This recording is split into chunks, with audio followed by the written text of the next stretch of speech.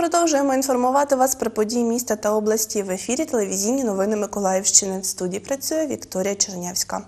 20 серпня ввечері жителі двох гуртожитків біля провулку Шури Кобера перекрили проспект Богоявленський. Понад 100 осіб повністю заблокували рух проспектом, а також провулок Шури Кобера, щоб перешкоджати об'їзду автомобілів. Пікетники пропускали автомобілі швидкої допомоги. Всі інші транспортні засоби стояли в загальному заторі. Таким чином, жителі протестують проти відключення електроенергії в їхніх гуртожитках. Через перекриття на проспекті утворився затор в обох напрямках. Водій автомобілю Volkswagen, намагаючись об'їхати пікетників, Тротуаром збив одного із протестуючих. Чоловіку, якого збили, приблизно 55-60 років. Від отриманого удару він впав на асфальт і отримав травми. Е, Його госпіталізували з місця події до лікарні швидкої медичної допомоги. Вчора оприлюднили вступну частину судового рішення щодо позову Івана Кухти, який обіймав посаду першого заступника голови Миколаївської обласної ради.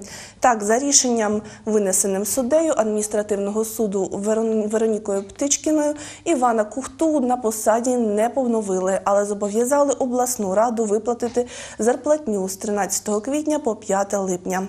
Нагадаємо, 12 квітня голова обласної ради Вікторія Москаленко звільнила з посади свого першого заступника Івана Кухту. Він вважає, що рішення незак- це рішення незаконним, тому подав позов до суду щодо його оскарження. На останньому засіданні, яке відбулось вчора, а, ані позивач, ані відповідач присутніми не були.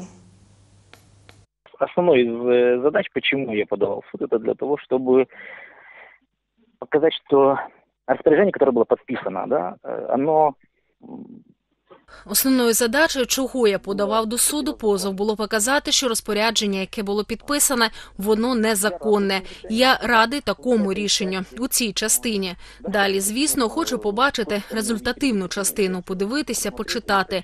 Ну і далі будемо приймати рішення, що робити далі.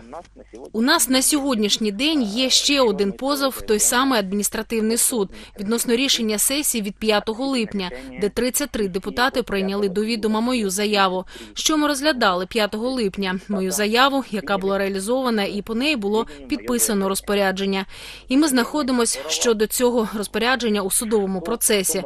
За три місяці ми виносимо це ж питання. Щодо висвітлення своєї позиції з цього приводу, ми звернулись і до голови обласної ради Вікторії Москаленко. Чекаємо відповіді. У поліції Миколаївської області повідомили про можливі тимчасові перебої в роботі спецлінії 102. У зв'язку з перебоями для своєчасності реагування на заяви і повідомлення, які надходитимуть на лінію 102, громадянам пропонують звертатися безпосередньо до чергових частин від- відділів і відділень головного управління Національної поліції в Миколаївській області або скористатися мобільним додатком для миттєвого виклику поліції. Це були всі новини на цю годину. Наступний випуск дивіться вже по обіді о 13.30.